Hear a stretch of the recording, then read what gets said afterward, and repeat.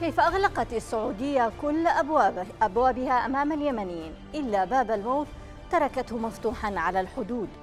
وكيف ساهمت القنصلية اليمنية بجدة بتسهيل دخول المجندين مخالفة بمخالفة واضحة للقانون؟ رغم التنديد المستمر لماذا تصر السعودية على الزج بالمجندين اليمنيين إلى محارقها الحدودية؟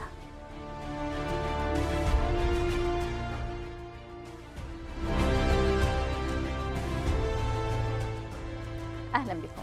تحقيق جديد لموقع درج وشهادة جديدة تفتح بابا عن هاوية الموت السعودية للمجندين اليمنيين. يقدم شهادة أيضا عن كيفية دفع السعودية المال لرجال الدولة المقيمين في الرياض لتأخذ مقابل ذلك أرواح, أرواح آلاف الشباب في الحدود الجنوبية المتاخمة لحدود اليمن. لكنه أيضا يكشف دور القنصلية اليمنية في جدة عبر مندوبها في منفذ الوديعة في عملية التجنيد. من خلال تسهيلها دخول المقاتلين إلى السعودية بمنحهم وثيقة سفر اضطرارية فهل بات الإتجار بأرواح اليمنيين على مستوى مؤسسات الدولة؟ وما هو موقف القانون من المسؤولين المتورطين بهذه الجرائم؟ كيف يمكن إدانة السعودية بهذا الملف؟ إذ تعمل على تجنيد اليمنيين للقتال في حدودها لأكثر من عام ونصف عام ونصف أو يزيد منذ بدأت تجارة الموت على الحدود السعودية انتقادات وإدانات حقوقية جراء توظيف السعودية لشبكات الإتجار بالبشر واستدراج آلاف الشباب اليمني للقتال على حدودها الجنوبية. تقارير جديدة كشفت تورط جهات رسمية يمنية إلى جانب السعودية بالزج بالشباب اليمني فيما بات يطلق عليه محرقة الحدود. يقول تقرير صدر حديثا عن موقع درج إن السعودية تدفع المال لرجال الدولة المقيمين في الرياض لتأخذ مقابل ذلك أرواح آلاف الشباب في حدودها الجنوبية المتاخمة لليمن. تضيق السلطات السعودية على دخول اليمنيين إلى أراضيها إلا إذا كان الغرض هو الدفاع عن حدودها في مواجهة ميليشيا الحوثي حينها يمكن لليمني دخول البلاد عبر وثيقة تدعى وثيقة سفر إضطرارية. الوثائق تكشف تورط القنصلية اليمنية في جدة عبر مندوبها في منفذ الوديعة في عملية التجنيد. حيث يتم منح المدنيين وثيقة السفر الإضطرارية ممهورة بإمضاء مسؤولي القنصلية. أغلقت السعودية كل أبوابها أمام اليمنيين وفتحت باب الموت على الحدود. يساعدها في هذه المهمة مسؤولون يمنيون يحصلون على دخل مربح في هذه التجارة القاتلة. بحسب التحقيق فإن مساعد القنصل يعترف بأنه يصدر وثائق سفر إضطرارية لدخول الجنود وهي مخالفة قانونية إذ يفترض أن وثيقة السفر الإضطرارية أو وثيقة المرور تمنحها القنصليات لمن فقدوا جواز سفرهم وذلك للسماح لهم بالمغادرة إلى اليمن لمرة واحدة. يذهب الشباب اليمني الهارب من جحيم الحاجة في بلاده إلى الموت في ظروف مأساوية على أراضي الآخرين. فتنضموا إلى التحالف فتستلموا رقم عسكرة فتستلموا المعاش وترجعوا إلى بلادكم. بحسب أحد المجندين فإن كثيرا من المجندين يموتون في الطريق بين الجبهة وأقرب مركز للإسعافات الأولية. يقول إن زملائه الجنود كانوا يموتون بين يديه بسبب عدم توفر أبسط مقومات الرعاية قبل أن يسقط هؤلاء القتلى من كشوفات الرواتب السعودية واليمنية معا بمجرد تسلم العائلة تعويضا ماليا زهيدا. تستمر محرقة اليمنيين على الحدود السعودية وتتسع دائرة الانتقاد والشهود معا وسط تصاعد الأصوات المطالبة بإيقاف هذه الجريمة التي التهمت المئات من شباب البلد.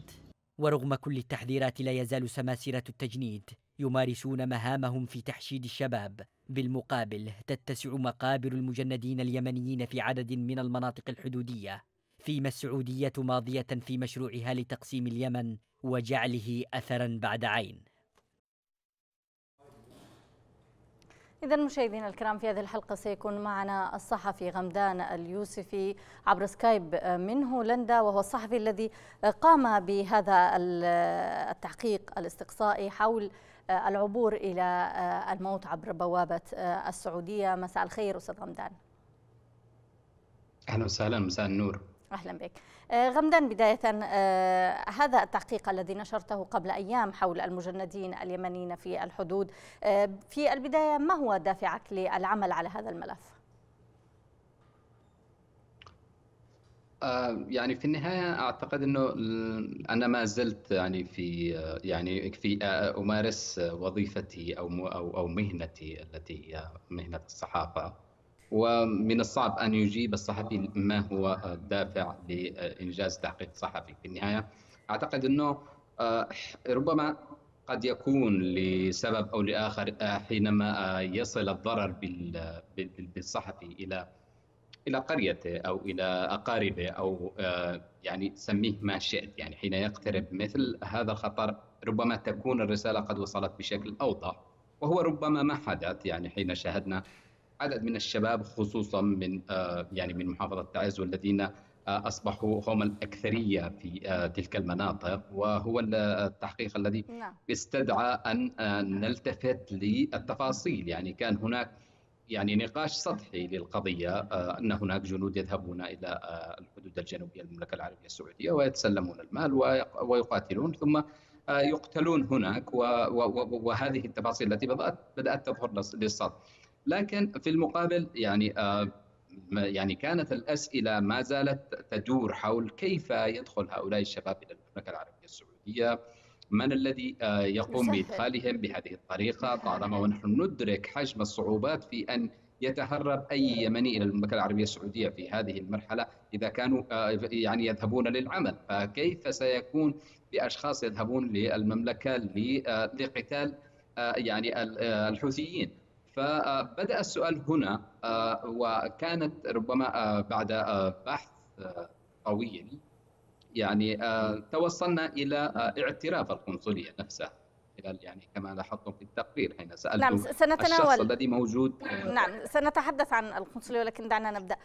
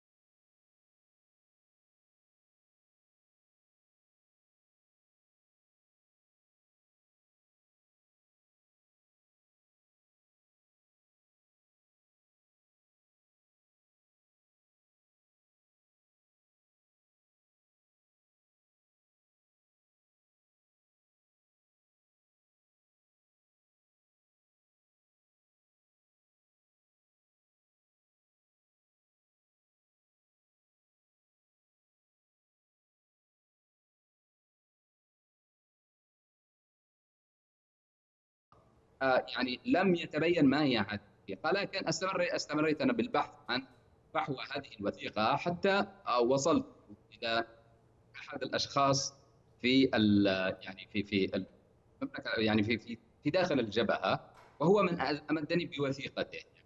هذه نعم. الوثيقة التي نشرتها هي وثيقة الشخص الذي تواصلت به وهو بالمناسبة الشخص الذي حكيت حكوت قصته يعني لم أضع اسمه خوفا عن حياته ووضعت اسما وهميا ويعني بعد ذلك حين شاهدت ختم يعني القنصلية اضطريت للتواصل في النهاية. تتعامل على تحقيق صحفي ويجب أن أن تأتي بالأشخاص المسؤولين في يعني في هذه القضية نعم. لكي لا تكون يعني للمصداقية أمام الناس. فتواصلت بالشخص نفسه. الشخص هذا الذي موجود ختمه في أسفل الوثيقه التي واسمه خالد الزام ووظيفته أيضا حسب حسب ختم الوثيقة يعني مساعد مساعد قنصل ويعني بحثت على رقم هاتفه ووجدته فطرحت له أنني فلان وأريد أن يعني لدي بعض الاستفسارات حول موضوع التجديد. يعني أجاب الرجل بجملة واحدة فقط فقال أنا أصدر التصاريح فقط ولا أقوم بالتحشيد. هذه الجملة كانت كافية. أرسلت له بعد ذلك مجموعة من الاسئله ورد آه، علي يعني آه، بعد يومين وقال اعذر لا استطيع في هذه هذا الرد. نعم. يعني ونحن بدورنا أستاذ غمدان يعني حتى حتى يعني نفتح المجال لكل الأطراف. حاولنا التواصل معه مع السيد خالد حزام ومع أيضا آه، مندوب القنصلية في منفذ الوديعة ولكن رفضوا الظهور معنا. وكذلك القنصل في جدة رفضوا الظهور معنا آه، للإجابة على أو للتحدث في هذا آه، الموضوع ووددت التنويه أيضا للسادة المشاهدين. إذا هل توصلت لعدد يعني أو عدد تقريبي لنقول حول عدد المجندين آه، كيف يتم تجنيدهم؟ ليس هناك عدد يعني يعني عدد حقيقي أو عدد لأنه في النهاية العدد متزايد بشكل يومي. أنت تعرف في مثل هذه مثل هذه العملية تتم وكأنها تجارة بالأساس. يعني ليست مسألة مرتبة من قبل وزارة معينة أو من قبل هيئة معينة. هي آه، حسب ما سيأتي به السماسرة سواء من تعس أو آه، تجميعهم في مارب ثم نقلهم إلى منفذ الوديعة وتوزيعهم على كل سمسار لديه آه، لواء من الألوية. يعني هناك ألوية متعددة مؤخرتهم أساسا متواجدة في منفذ الوديعة. يتم فرزهم في آه، تلك المنطقة كل سمسار يذهب آه، بمن أتى بهم من آه، محافظة مأرب أو من تعز إلى إلى مؤخرة اللواء المقصود سواء لواء 102 أو 106 أو أو لواء الواجب أو يعني كثير من الألوية نعم. في تلك المنطقة تقريبا سبعة ألوية متواجدة مؤخرا لها في في منفذ الوديعة وبعد ذلك يذهب يذهب به إلى الجبهة ل يعني تمارين قليلة ثم ثم يدخل في الجبهة يعني الإشكالية ربما القانونية في هذا الأمر أن هؤلاء الشباب أساسا لا ينتمون إلى أي مؤسسة حكومية ويفترض أننا نقوم اليوم بمعركة وهؤلاء يمثلون الحكومة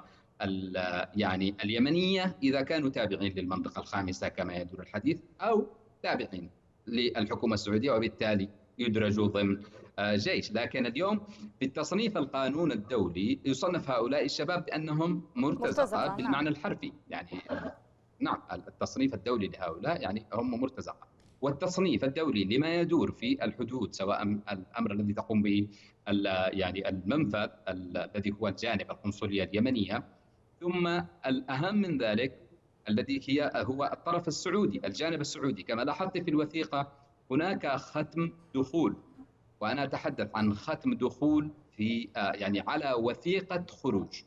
هذه ربما يعني لم تحدث في تاريخ السعودية إلا هذه المرة لأنه فين أن نعرف التشديدات والعبث الذي نعم. يتم لليمنيين الذين لديهم أساسا تاشيره رسمية كدخول. فما بالك حين يأتي يمني ولديه وثيقة سفر اضطرارية للخروج ويتم عليه وضع عليها ختم دخول. يعني ثم بعد مغادرة هؤلاء يعني في حال أنه حصل على إجازة أو آه، يعني أصيب وتم آه، ترحيله إلى اليمن فيتم ختم على هذه الوثيقة آه، بكلمة مبعد.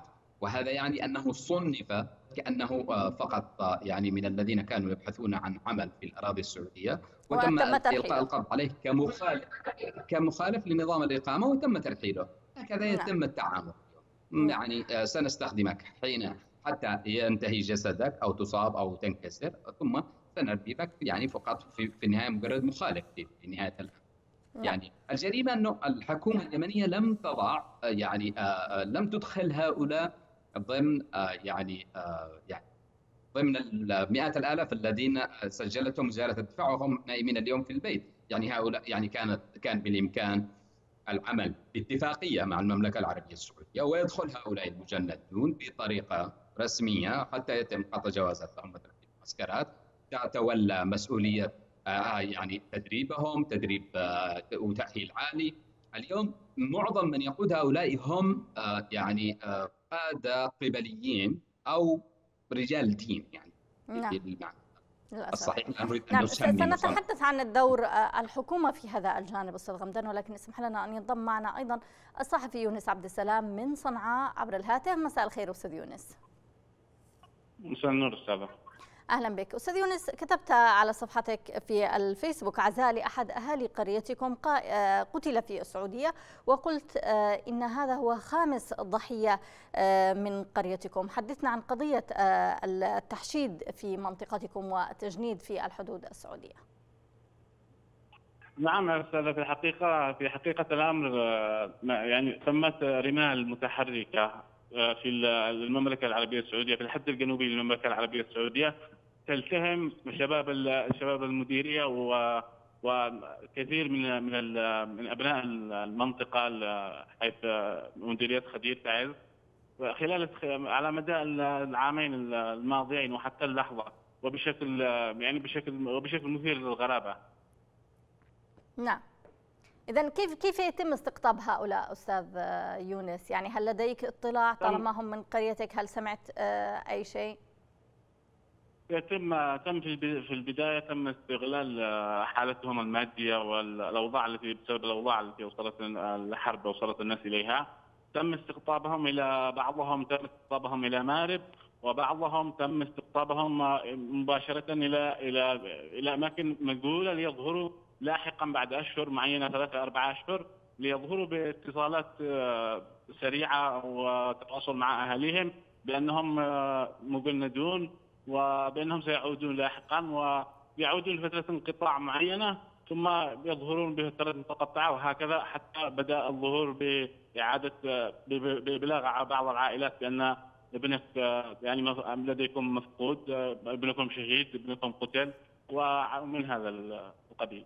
نعم هل يعني آه، هؤلاء الذين يتوفون هل يعودوا إلى أهاليهم كجثث أم فقط يتم إبلاغهم بأن ابنكم قتيل وانتهى الموضوع؟ يعني لا تعد حتى من من من الصعوبة بمكان إعادة الجثث إلى أهاليهم يتم إبلاغ أهاليهم فقط ويتم إرسال مبالغ رمزية في البدء تم إرسال مبالغ رمزية لأهاليهم.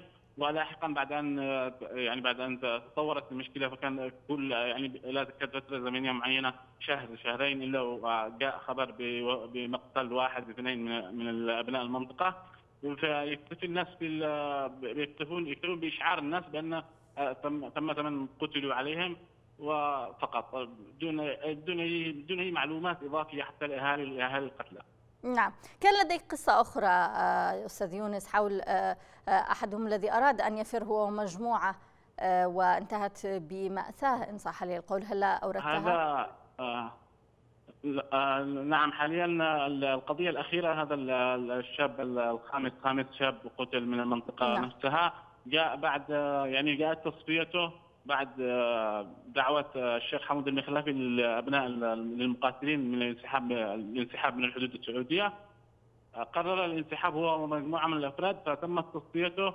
بينما تم إخفاء آه، قرابة 20 شخص بجواره 20 فرد وحتى هذه اللحظة يعني تواصل مع أناس من المنطقة ومن المديريه فلم أعثر على معلومات كافية ولم يتمكن أحد من الوصول إليهم، أحدهم قال لي بأنه آه، وصل إلى قائد قائد اللواء أو أحد المسؤولين عن هؤلاء الأفراد فقال لنا يعني واجهه بمماطله بانه سيبلغه لاحقا ومنذ أمس يعني أغلق هاتفه ووقفه. نعم هل تم تصفيته من أي جانب بالضبط؟ هل الجانب السعودي أم الجانب اليمني؟ التصفيت تصفيتهم يعني معنا تقريبا من بين ستة أو من بين ستة أشخاص معنا تقريبا ثلاثة قتلوا بنيران من الخلف يعني بنيران بنيران بنيران سعودية. نعم. إذا آه، هؤلاء الذين يتم آه، أو يقومون باستقطاب هؤلاء الشباب هل هم سماسرة معروفون آه، لدى القرية لدى المنطقة هل بات الناس يعرفون بأنهم هم من من يحضرون الشباب ومن يوهمهم بالدخل المرتفع وما إلى ذلك؟ القيادي الأول المعروف بالمنطقة نفسها ومن بدأ بقلب أو بسحب الشباب من المديرية من أبناء المديرية نفسها قيادي في حزب الإصلاح وتم أخذهم ب يعني باسمه باسمه شخصيا من قبل أهاليهم وباستئذان أهاليهم بشكل شخصي ولأن هذا هذا القيادي نفسه قتل وكان للأسف الرواية يعني آه، قتل بأنه قتل في مواجهات مع الحوثية بينما مع الحوثيين خلال المواجهات مع الحوثيين بينما قتل بنيران المدفعية السعودية حسب ما تأكدت شخصيا. نعم. إذا شكرا جزيلا لك يونس عبد السلام الصحفي كنت معنا عبر الهاتف من آه، صنعاء أستاذ غمدان كل قرية آه، ربما ولديها سماسرها لديها أبنائها المفقودين وأبنائها المقتولين وأيضا العائدين بأطراف مبتورة.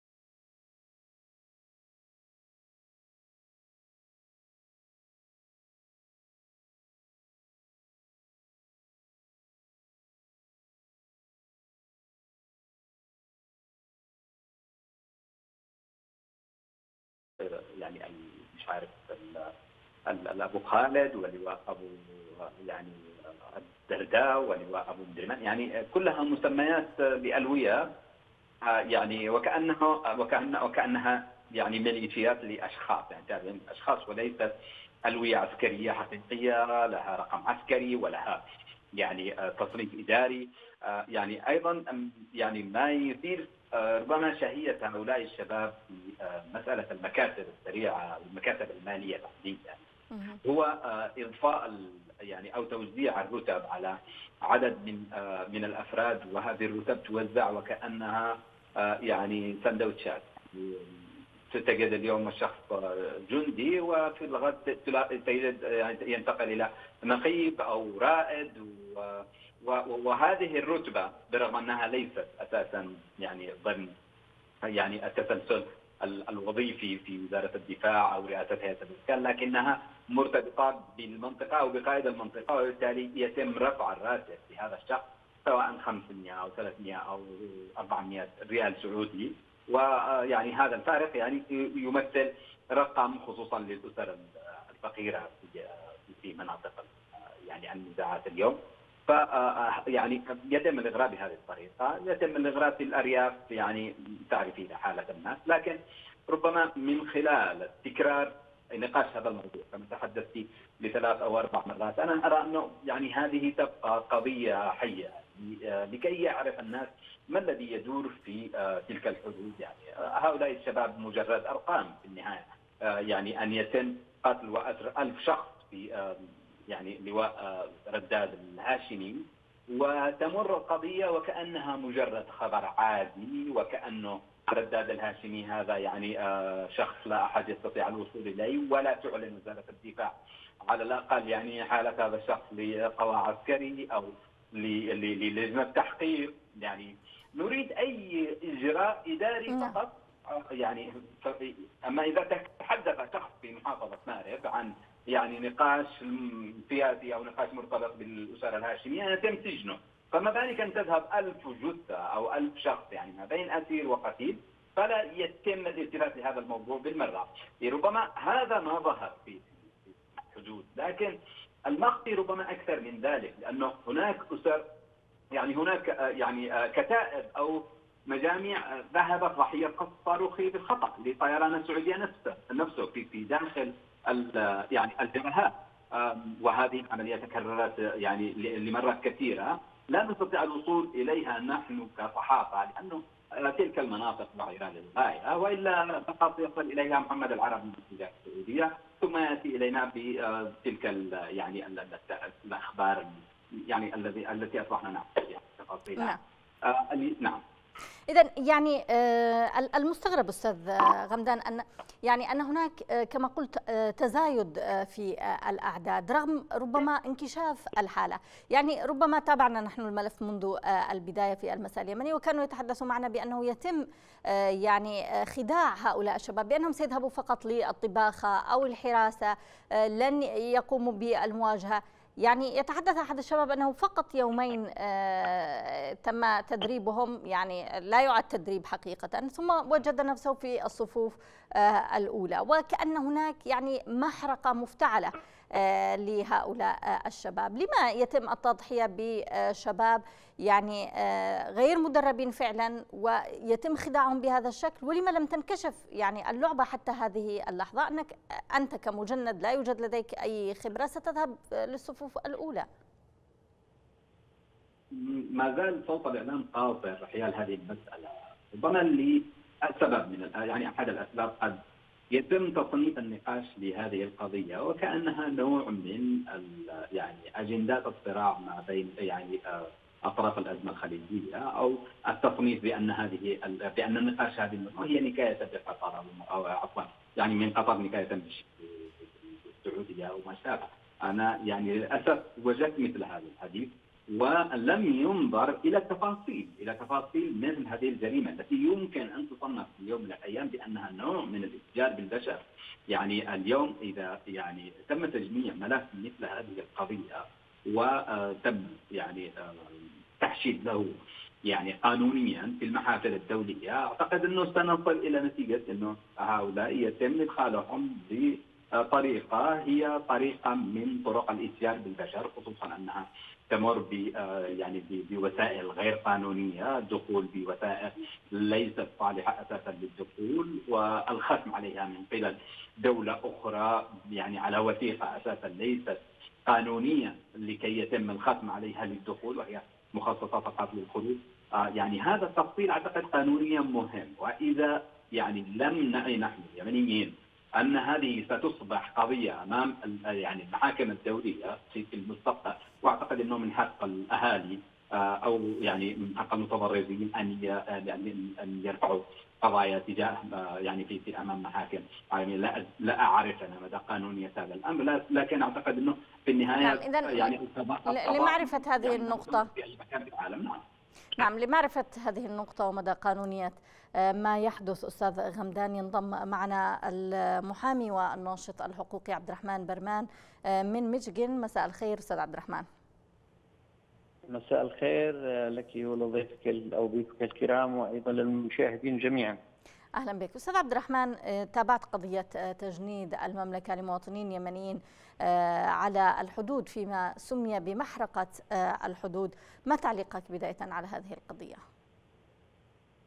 حقيقة هو الأمر كان مفاجئ بالنسبة لي. لم يكن لدينا معلومات حول هذا الأمر إلا أنه التقرير هذا آه، كان مفاجئ كثيرا. وكنا نتمنى أن نسمع يعني توضيح من قبل الحكومة اليمنية وأيضا الحكومة السعودية، أعتقد إنه آه، الأمر هذا يجب أن لا يسكت عنه ويجب أن يكون آه، يتم هناك تحقيقات آه، يعني محايدة وأن يعني يصدر يعني تقرير رسمي حول الأعداد التي تم تجنيدها وأيضا الاشخاص الذي قتلوا في هذه المناطق والمصابين وأيضا سوء المعامله الذي تعرض في بعض الأشخاص الذي ادعوا أنهم تعرضوا لسوء المعامله الاعتياد آه، وأيضا المنع من العلاج وما اشبه ذلك. نعم، اذا آه، السعودية تريد آه، يمنيين يموتون بالنيابة عن السعوديين للدفاع عنها. لما لا يتم الاستعانة بجيش نظامي؟ يتم هناك اتفاق بين دولتين كما يحدث. عادة يعني لما يتم استخدام أناس بسطاء غير مدربين من الشارع.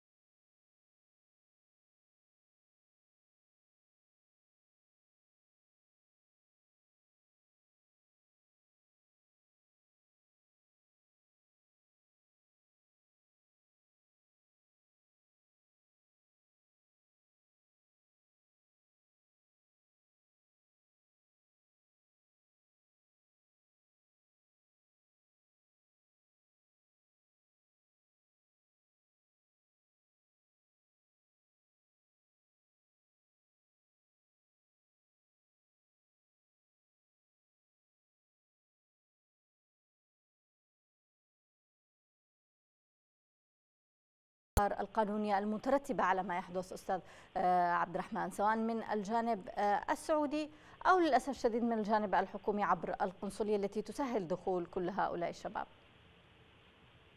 هو طبعا الحكومة اليمنية معنيه اولا بالحفاظ على مواطنيها أو يعني يعني عدم المتاجرة بهم لأن هذه تعتبر عملية متاجرة إذا كانت القنصلية فعلا تقوم بالتسهيل وهي تعلم إنه عملية التسهيل أو هو معروف إنه الأشخاص يسافرون من بلد إلى آخر بجوازات رسمية والمعروف إنه يدخل الذهاب إلى السعودية فيزا عمل أو فيزا العمرة أو فيزا الزيارة. يعني لا أعتقد إنه هناك أو فيزا حكومية للأشخاص الذين هم ينتمون للحكومة لكن تصدر تصادف بهذه بهذه الطريقة هذا يدل على تورط الجانب الحكومي أو القنصليه اليمنية يعني بعمليه يعني نقل الاشخاص إلى مناطق الموت. وهذه مسؤولية قانونيه إنه هناك إدعاء لحق الإنسان في الحياة بعد أن حرم الناس من الرواتب ومن بسبب الحرب وضيقت عليهم المعيشة يعني يتم التجربة من قبل القنصلية ومن قبل أيضا مسؤولين يمنيين. وأيضا هناك لا تعفى المملكه العربيه السعودية من مسؤوليتها القانونية والإخلاقية والأخوية والإنسانية والإسلامية. أن يتم الزج بهؤلاء الشباب. إذا كان يعني يعني دون أن يكونوا مدربين دون أن يكون لهم علاقة بالقتال هؤلاء مواطنين لا يجوز أن يؤخذ الأشخاص أو التعاقد معهم مرتزقة أو نبيع بالأموال والذهاب إلى يعني إلى إلى جبهات القتال. ففي الحالات في مثل هذه الحالات هناك اتفاقيات الدفاع العربي المشترك يمكن تفعيلها ويعني هو القضية هي قضيتنا واحدة القضية اليمنيه والسعودية والعربية قضية واحدة هو دحر الحوثيين من اليمن وأيضا حماية الأمن القومي العربي. نعم أهالي المجندين أستاذ عبد الرحمن يشتكوا بأنهم لا يستطيعون التواصل بأبنائهم وأن هناك مقابر كبيرة على الحدود لمئات من الضحايا. حرموا أهاليهم حتى من دفن جثامينهم أو التوصل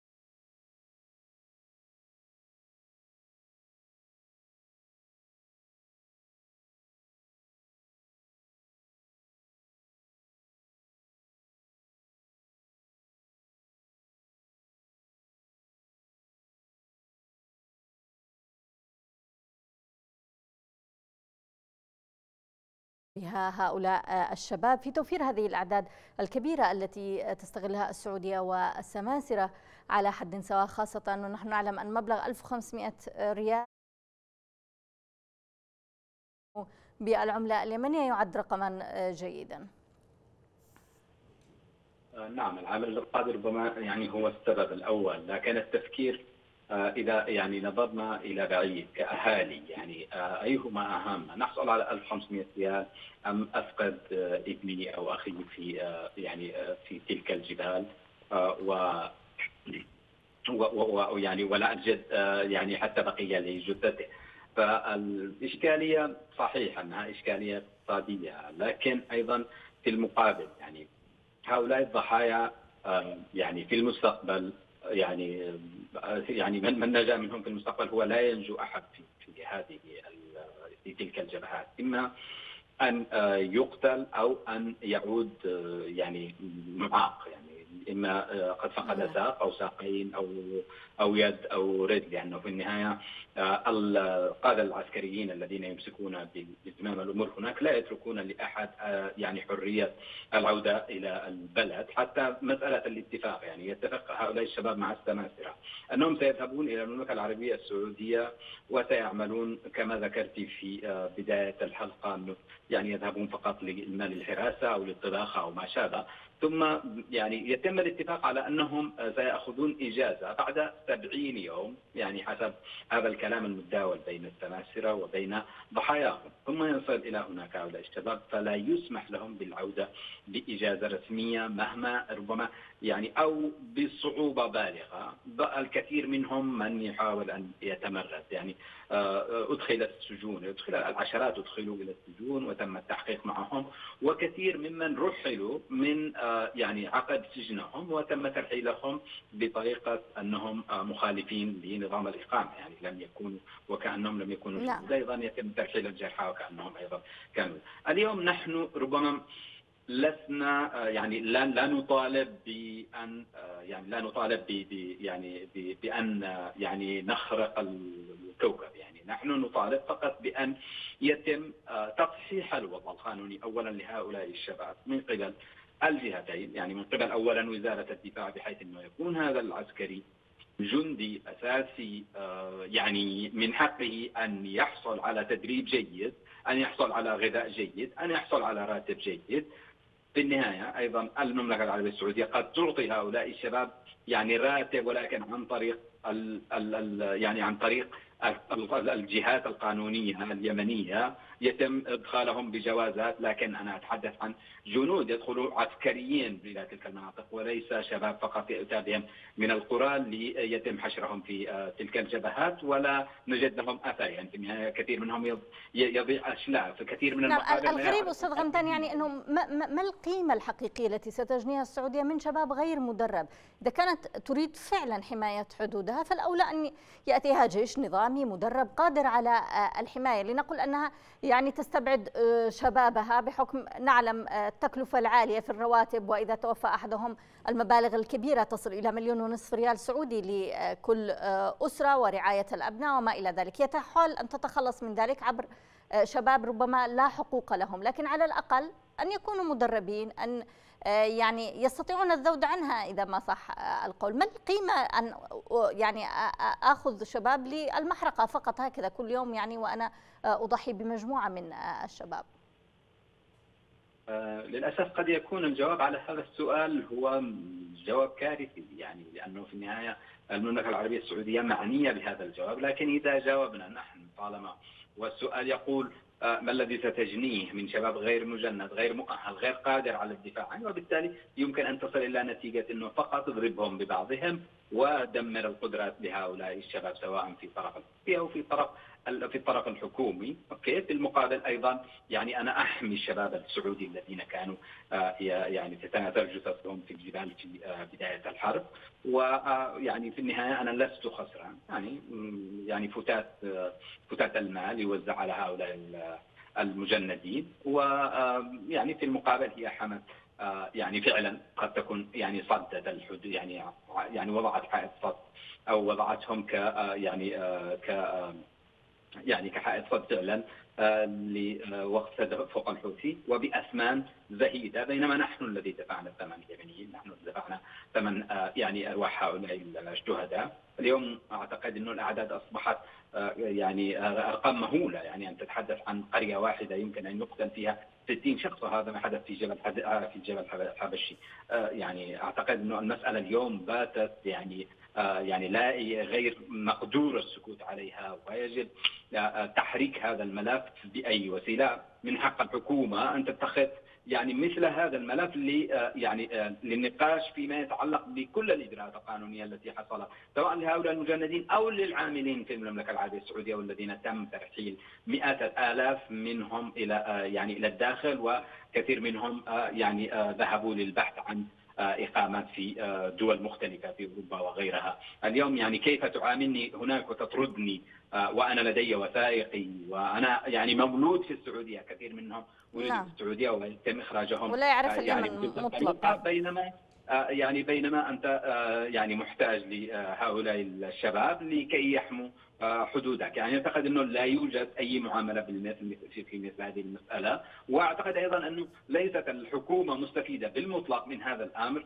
كل الأموال تذهب لي يعني للسماسره أو للقادة بشكل مباشر هؤلاء القادة الذين هم يعني في الميدان وهم المستفيدين هم يعني أكثر من يستفيد من هذه العملية أولئك القادة المتواجدين في يعني بالقرب من هذه الجبهات لقد نعم. يعني بنوا مصالح كبيره الآن من من يعني من هذه العملية. نعم برأيك أستاذ غمدان يعني ظهور هذه القضية على السطح بهذا الانكشاف وبهذا الوجع يعني تقارير منظمة سام التقرير أيضا التحقيق الذي قمت به. الحلقات التي قمنا بإعدادها أيضا والكثير من الحديث حول هذا الملف. ما مدى صداه في الأروقة الحقوقية الدولية؟ يعني هل سيتم مناقشته؟ هل تجد يعني أنه ربما يشكل نقطة ضغط تجاه السعودية والحكومة اليمنية للكف عن هؤلاء؟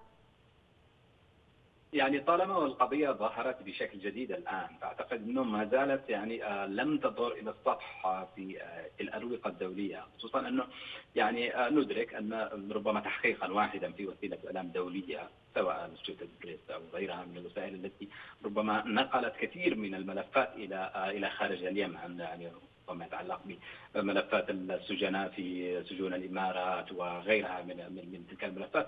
يعني كان لها دور بارز وسائل الإعلام الدوليه، نحن ما زلنا غير قادرين على إيصال صوتنا بسبب الفاصل اللغوي الذي يعني يعيشه تعيشه الصحافة اليمنية لا يوجد اليوم وسيلة إعلام تتحدث بلغة مختلفة غير اللغة العربية. يعني في اليمن تخاطب هذا الخارج من الذي يدير بالتفاصيل. يعني في النهاية ما يظهر إلى السطح هو فقط النقاش السياسي وقضايا يعني الطيران وما إلى ذلك. وهذه قضايا مهمة. لكن أنا أتحدث يعني أن تجد اليوم ملف مخفي. يعني في في يعني بكل يعني بكل جلافة هذا الملف. بكل يعني قذارته يعني لا يتم الظهور إلى السطح بهذه الطريقة ويتم النقاش حوله سواء في يعني كنقاش حكومي بين دولتين اليمن والسعودية أو يتم نقاشه كقضية حقوقية في الأروقة العالمية. لا أعرف يعني يعني من المعيب أن يتم هذا أن يبقى هذا الملف يعني يعني حديث وسائل الإعلام اليمنية. نعم إذا شكرا جزيلا لك الصحفي غمدان اليوسفي. كنت معنا عبر سكايب من هولندا. الشكر لكم أيضا مشاهدينا الكرام لحسن متابعتكم. لن ألتقيكم في مساء يمني جديد. كونوا برعاية الله وأمنه.